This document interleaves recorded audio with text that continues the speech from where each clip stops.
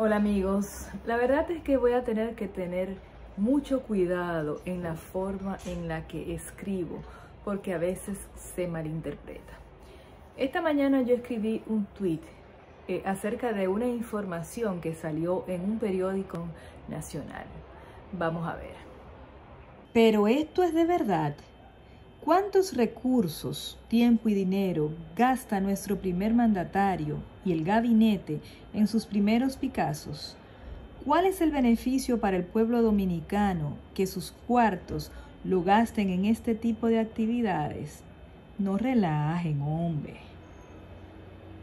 Esto quiere decir, no es que yo esté opuesta a la construcción de una cañada, como me escribieron varias personas, no yo nunca voy a estar opuesta a obras que beneficien sobre todo la colectividad.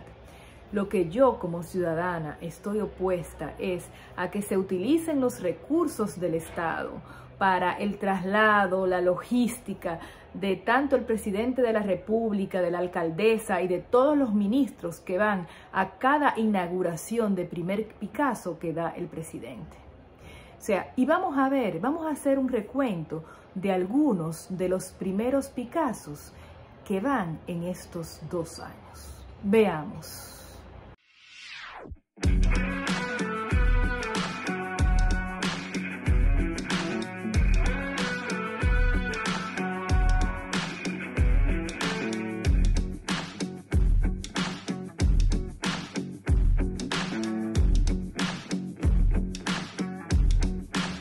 ¿Ustedes creen que es posible que un presidente de la República no tenga más nada que hacer, sino que ir a inaugurar primeros Picassos de cada obra que haga el gobierno?